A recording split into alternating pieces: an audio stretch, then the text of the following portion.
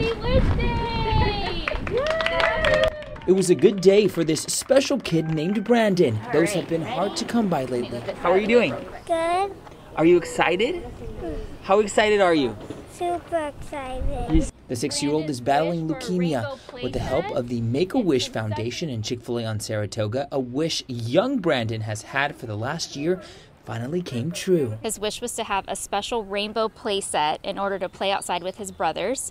And, you know, we're just so thrilled to be able to bring some hope and joy and strength to this little boy um, and his family. Strength his mother has held on to. There's days that it gets it it gets hard, but uh, it's it's he's doing so much better. Rebecca Esparza has been a volunteer with Make a Wish for years. She knows just how difficult the last few months have been for Brandon. I've been through cancer twice myself.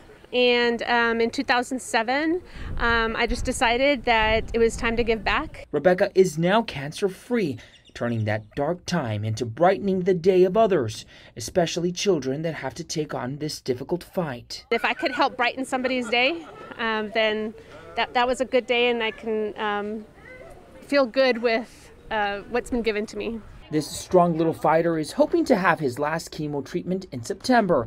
As for this special day, Whenever I told him, well, hopefully this year you'll get it, and he's been waiting and waiting, but now he he was surprised that today he saw everything outside. There you go. Javier Guerra, KRIS 6 News.